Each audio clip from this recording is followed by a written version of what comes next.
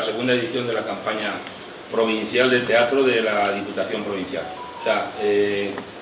lo primero que hay que decir es que la Diputación de Guadalajara ha tenido a bien de nuevo, ya que el año pasado se hizo también aquí la primera, en la primera edición, ha tenido a bien de nuevo elegir Mil Marcos y, y su teatro, en el que estamos ahora, para presentar la nueva campaña de este año. Llevamos 10 años de teatro,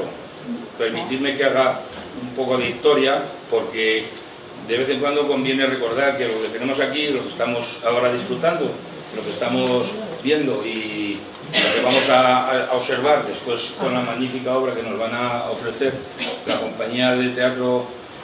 mm, que ha llegado, pues eh, no es baladí, esto es un sueño que se cumplió. Y ese sueño tiene 10 años, eh, bueno, empezó un poco antes, pero en el año 14 se inauguró, si,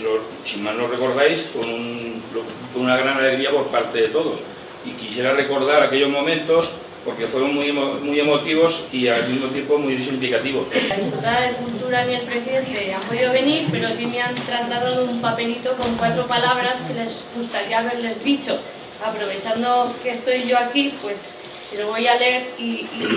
así pues, se quedan también representados. Querido alcalde, queridos mil marqueños y mil marqueñas,